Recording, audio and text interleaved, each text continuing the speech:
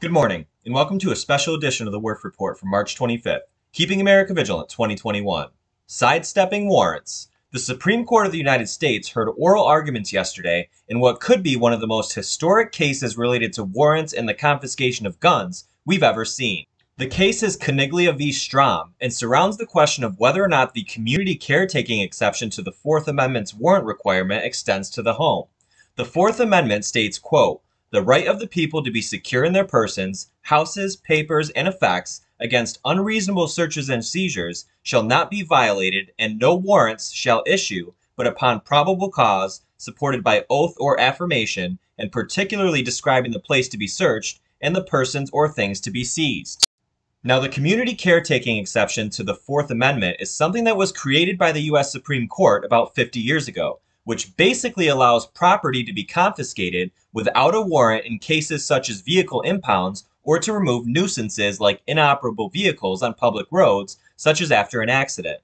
One would call this the gateway being used in this current case to essentially attempt to remove the requirement of a warrant to search one's home and take their guns, for example, as happened with Edward Caniglia. The creation of this exception was dangerous to begin with, but what happened here in this case was that Edward and his wife of 22 years, Kim, got into an argument that became exhausting and carried on for quite some time.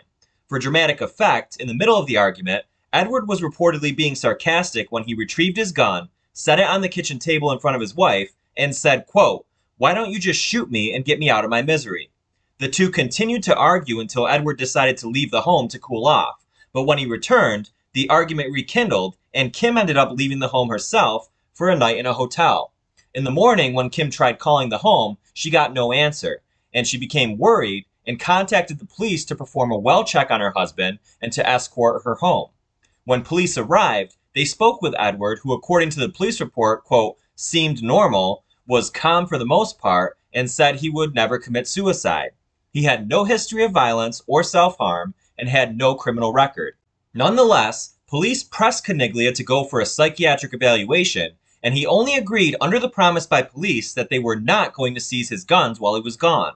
Police then lied to Caniglia's wife, Kim, telling her that Edward had consented to the confiscation of his guns, and she then, in good faith, led the officers to the couple's two handguns which were promptly confiscated.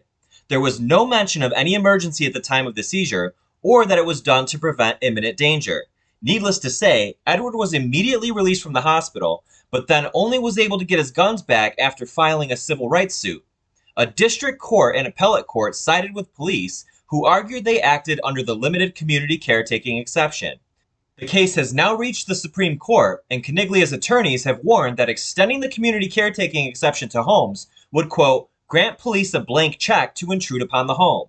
The fraudulent Biden administration filed an amicus brief in this case, urging the High Court to uphold the lower court's ruling, with the Justice Department saying that warrants should not be, quote, presumptively required when a government official's action is objectively grounded in a non investigatory public interest, such as health or safety. A joint amicus brief by the ACLU, the Cato Institute, and the American Conservative Union states, quote, in jurisdictions that have extended the community caretaking exception to homes, everything from loud music to leaky pipes have been used to justify warrantless invasion of the home.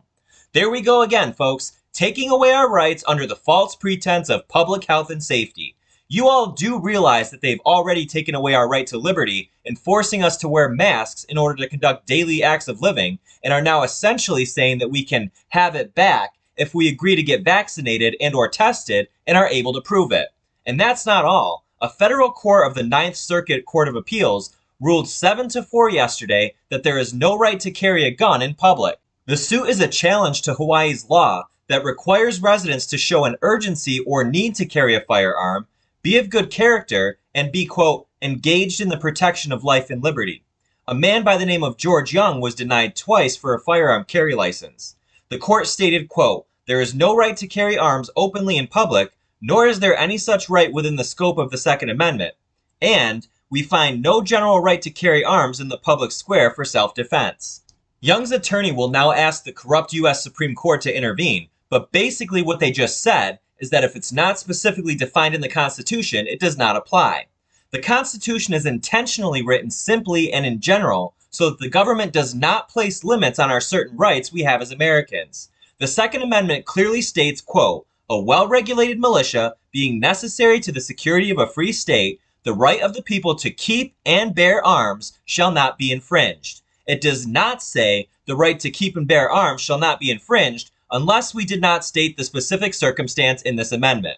How ridiculous is this? These are clever tactics being carried out within our judicial system in coordination with corrupt politicians for the sole purpose of distorting, diluting, and removing the rights of the people and our Constitution as a whole. Does anybody else find it oddly coincidental that all of these things are happening simultaneously just after a reported mass shooting? By the way, the guy was originally from Syria, the place we just bombed last month. Another coincidence?